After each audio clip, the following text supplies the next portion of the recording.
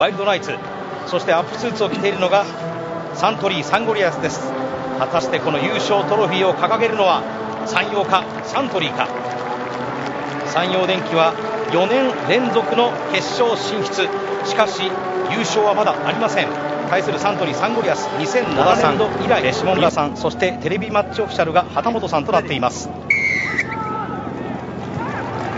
ジャパンラグビートップリーグプレーオフトーナメント決勝戦。日本最高峰リーグ。その頂点に立つのはアグレッシブ離した。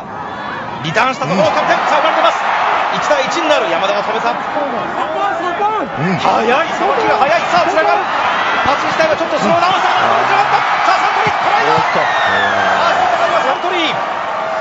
長友が抑えました。攻めて攻めて取り切りましたサントリーはすごいトライですね。ジョージ・グレーガンが作られた戦いです。継続。最後はカバーディフェンス山田が戻ったんですがもうその時はトライライン超えていた。ここですね。これはホーンが鳴らされます。ここはゲームを切って前半これで終了。11対6リードはサントリーサンゴリアスですさあ小林さん前半の印象を伺いましょう。そうですねサントリーの山陽電機のストックが轟くか。2011年1月30日。決戦の舞台はここ下宮ラグビー場です。前半折り返して11対6サントリーリードでの折り返し。赤いジャージが山陽電機。さらにはホラン流コリニアーシ。もう一つ手前には山田。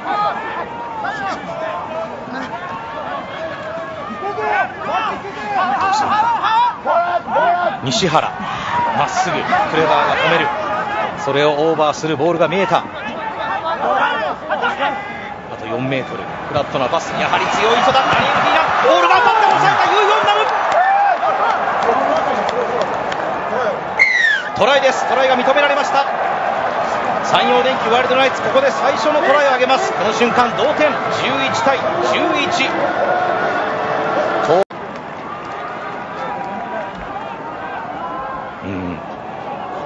ヒーにやっぱ乗っかられますもんね。そうですね。やっぱこの後よくこんなの取ったということでしょうね。ボール奪った。さあ今度は山陽だ外に散らします。大外には山田が待っている。ユヨンナムここでキックを使う山田を走らせる。さあ追い抜いていく赤いキャンプ3人しかし戻っている長友。ちょっとチャンスを受けたかどうか。トライです。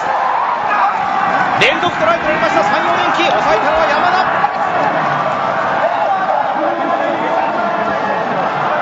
さあ小林さん注目メンバーにも挙げていただいて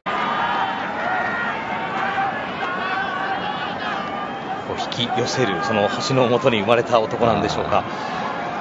まあボールに祝福されたプレーヤーです。じわじわとトライラインに近づいていく。山陽電機ここで一つモールを組みました。しっかり組み直した。さあ押していく。まっすぐ押していく。ワイルドナイツまっすぐ押す。最後尾ではルーキー西原。西原が持ち込む。トライです。山陽電機ワイルドナイツ止まらない。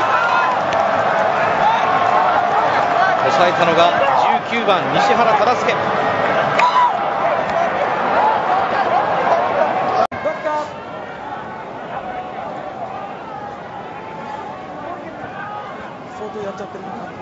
抑えたのがルーキー西原です、まあ、そこで1人3、4人選手がいないと8人です。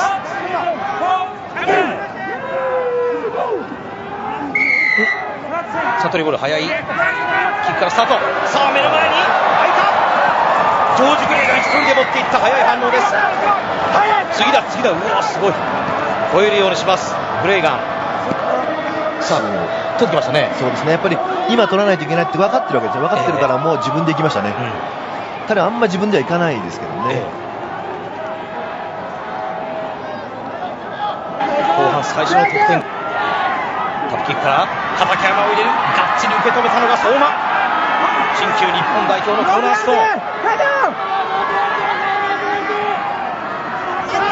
佐々木を飛ばしてキャプテンが預けました。さあ佐々木はこれをめくっていく。ボールが見えた。グレイガン自分でいく。かここでいった。2本目のトライです。長友。サントリーここで取ってきましたね。そうですね。これでワントライ差になりますね。はい。ワンプレー。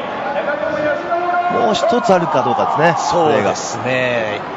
今39分が回っています。まだ可能性はある。これ早く帰った方がいいですからね。そうですね28対21、今7点差に迫りました。まあ、これが決まれば5点差。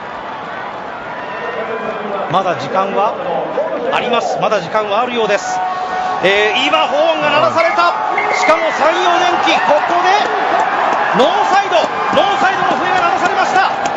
悲運の野武士軍団、ついに無冠の素晴らしいタックル、本当、この後ね、日本代表シーズンも始まる、はい。その頼もしい、いや本当に頼もしい活躍でしたね、この太い腕がね、そうです。